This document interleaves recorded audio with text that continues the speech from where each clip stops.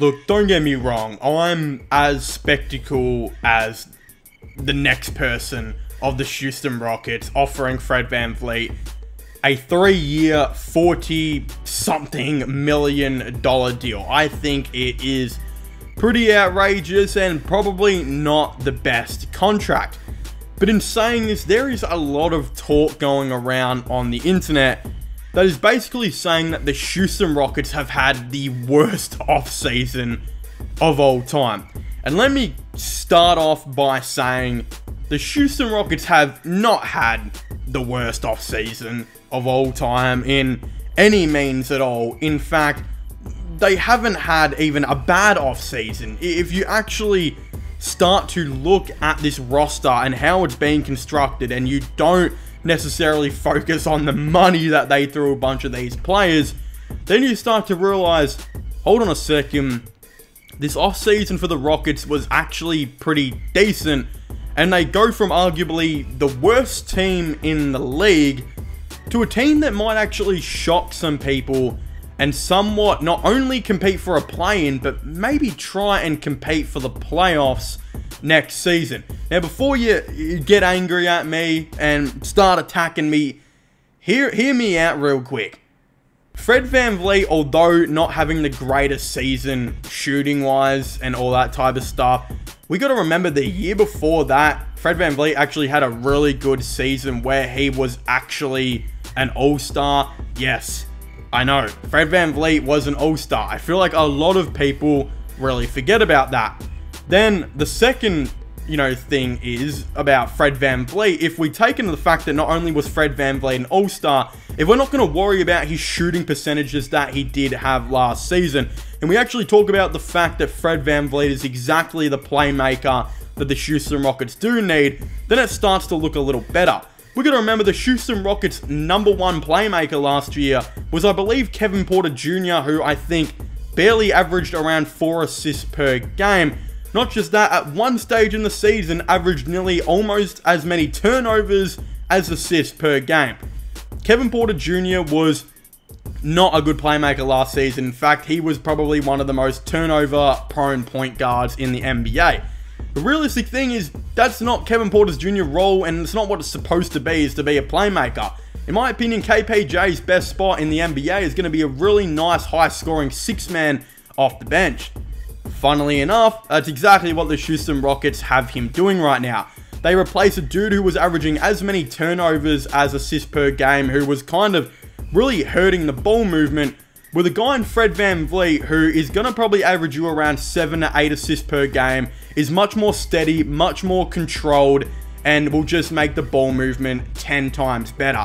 Not just that, Kevin Porter Jr. gets to do what he does great and be an extremely high efficient scorer, I believe, off the bench. So bringing in Fred VanVleet has not only steadied the playmaking and made that all better, but you've also made Kevin Porter Jr. a way better player and give him uh, the ability to play his natural role.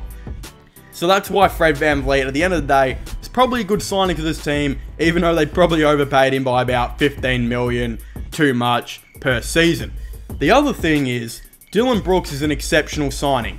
Yes, I know he should not be on 20 million a year for four years, and the rumors that he were only getting 12 million a year apparently ended up being false because the Rockets extremely overpaid. Not counting any of that in, Dillon Brooks is exactly the player that the Houston Rockets need. The Rockets were one of the worst defensive teams, if not the worst defensive team last season. Not only was their ball movement terrible, but they couldn't defend anything. They legitimately looked like training cones out there. I know Dillon Brooks gets a lot of hate online and is honestly, yes, probably a bit of a tool, not gonna lie. But in saying all that, just because he might not be the greatest person to root for, he's still a really solid NBA player. I feel like people get confused about that. They think just because he's not a very good guy in their opinion, he can't play basketball. Realistic thing is, he might not be that efficient, but we know that Dillon Brooks is still a 14 point per game type of guy who used to average 18 on a really good team, and he's one of the best defenders in the league who made all defensive second team. It's a great signing by the Houston Rockets, and I believe he'll start at the three next season and be a perfect fit. And if Dillon Brooks can get his three point shooting back to what it used to be when he was a role player in the NBA, then he's going to be a really good addition for this Houston Rockets team. In saying those two signings were really good, we got to remember the other three key players that the Houston Rockets brought in. As I said, they were one of the worst defensive teams in the league. So what do they go out and do? They go and draft the best defensive guard, I believe, in this draft in Amen Thompson, who we know can definitely lock down a player or two with his extremely impressive length. He's a six foot seven guy who can guard one through three, and he'll probably be their backup guard. Who'll just be a really good defender for this team. And another young prospect who's going to be extremely athletic and could even be another scorer in a couple years' time. Then you look at Jeff Green. Another thing this team really lacked was veteran presence. The veteran they had in Eric Gordon really did not want to play for this Houston Rockets team, and they desperately needed to get rid of him and then find a replacement. They go out and bring Jeff Green in on a really nice contract of only 6 million, who's an NBA champion, a dude who can put you up like still six points a game on pretty good three-point percentage, while being an awesome veteran who can help mentor a bunch of these younger players. If anyone's my favorite signing, it's probably Jeff Green. He's been an extremely underrated player for so long in the NBA, and I'm finally glad he got more than just the minimum contract. And again, he gets to go out and be a veteran, play some good minutes, and he's another good three-point shooter that's going to add to this team. And then the fifth and final one is Jock Landale. Jock Landale had a really underrated season for the Phoenix Suns last year. Again, he's only going to get better. He's going to start for the Australian Boomers team in the FIBA 2023, I believe, World Cup. And then he'll, of course, be the starting center for the Australian Boomers 2024 Olympics team.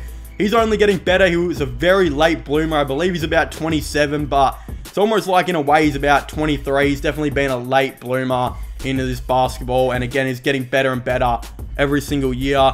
Again, he's going to be a really nice backup center, and even if he doesn't do well, I believe only the first year is guaranteed. So if they don't want to pay him the 50 million over the four years or whatever that they owe him, they can again get rid of him, I believe. Again, really good things for the Houston Rockets. It was a really good off-season so far with a lot of really, really impressive signings.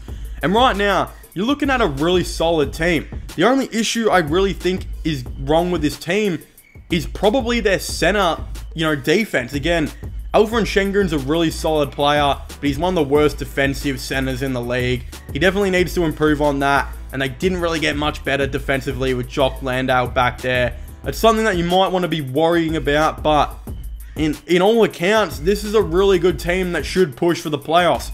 You'll have a starting five of like Van Vleet, Jalen Green, Dillon Brooks, Jabari Smith, and Alperen Sengun. Off the bench, you're going to have Kevin Porter Jr., Tom uh, Thompson, Jeff Green will, of course, be there, Jock Landale will be there, and you'll have a bunch of these other dudes that are definitely going to come in. Cam Whitmore as well, they drafted, who could have been the steal of the draft.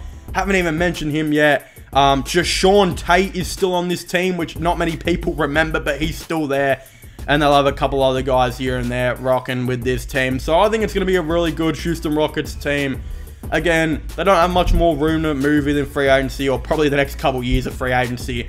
But I don't think they really care because at the end of the day, they've kind of got their foundation now. And they're just going to hope this team gets better and better as it gets older. And of course, they'll still probably draft as the years go on. But of course, if you haven't already, please make sure to leave a like and subscribe to the channel. Comment your thoughts and opinions down below. Do you guys like this new Houston Rockets team? And do you guys think they've had an underrated off-season? Of course, I would very much like to know. Again, don't forget to subscribe to the gaming channel, my IRL slash long channels. Links for them will be in the description down below. But as I was saying, please make sure to leave a like, subscribe, and comment. And I'll see you guys next time. Goodbye.